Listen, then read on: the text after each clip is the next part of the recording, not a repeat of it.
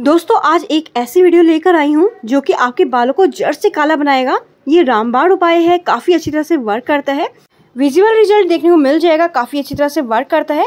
बस, आपने कंटिन्यू इसको लगाना है तो चलिए स्टार्ट करते हैं। तो इसको बनाने के लिए सबसे पहले आपने लेना है rosemary and curry leaf powder ये पाउडर लेना है और आपने टू टीस्पून डालना है बाउल में।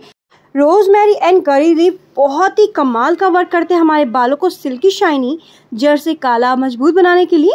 काफ़ी अच्छी इसके रिज़ल्ट है, इसको इस्तेमाल कीजिएगा तो आपको रिज़ल्ट देखने को मिल जाएगा। आपने ये डाल देना है, अब आपने इसमें डालना है बीट रूट पाउडर, ये भी टू टी स्पून डालिए। अगर आपके पास बीट रूट है तो उसको क्यूब्स में काट के इस्तेमाल कर सकते हो जूस निकाल के इस्तेमाल कर सकते हो। बहुत ही नेचुरल कलर आता है, काफ़ी प्यारा सा कलर आता है इससे। तो दोस्तों, आपने ये डाल देना है सेम आपने क्वांटिटी रखनी है, जब भी कोई भी पाउडर डालोगे तो सेम क्वांटिटी ही रखिएगा सबकी। तो ये डालने के बाद अब आपने इसमें डालना है गोक्षरू पाउडर। ये भी कमाल का वर्क करता है, जड़ी बूटियाँ होती हैं जिसका एक्सट्रैक्ट निकाल के इसका पाउडर तैयार किया जाता है।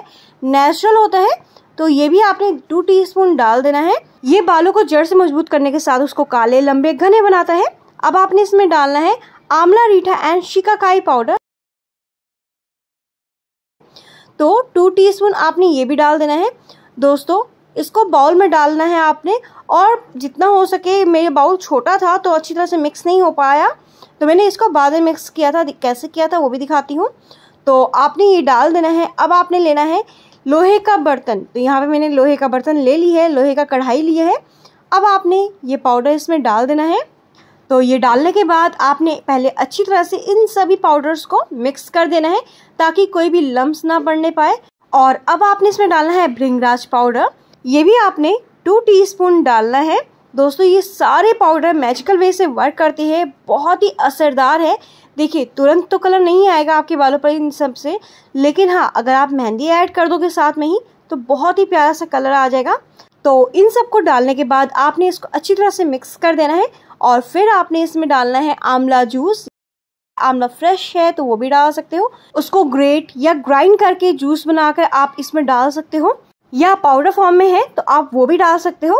तो यहाँ पे डालना है और आपने अच्छी तरह से इसको मिक्स कर लेना है। मिक्स करने के बाद आपने इसको पाँच मिनट तक के लिए लो फ्लेम पे चढ़ाना है और अच्छी तरह से बॉईल आने देना है, ताकि इसका जितना भी इन्फ्यूज़न है, सभी इसमें आ जाए।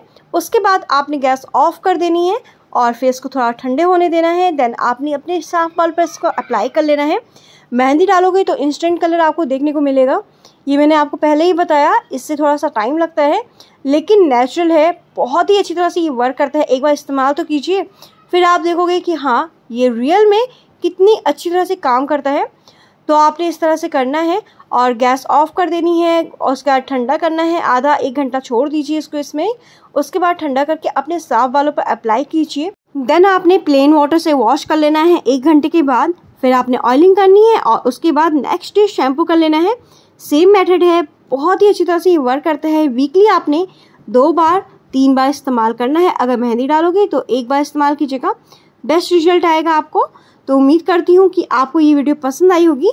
पसंद आई है तो like share and follow for more मिलती हूँ आपसे न्यू अच्छी और इफ़ेक्टिव वीडियो के साथ।